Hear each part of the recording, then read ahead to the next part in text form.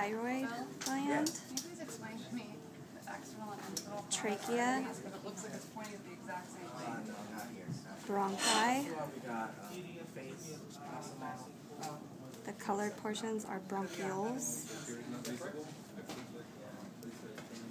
Right here is thyroid cartilage. And here we see common carotid. Underneath is cricoid Common carotid artery. Cartilage. In the back is the face. Uh, the back is the arytenoid cartilage. And then at the very tip of the arytenoid cartilage is the corniculate cartilage. internal goes to the brain,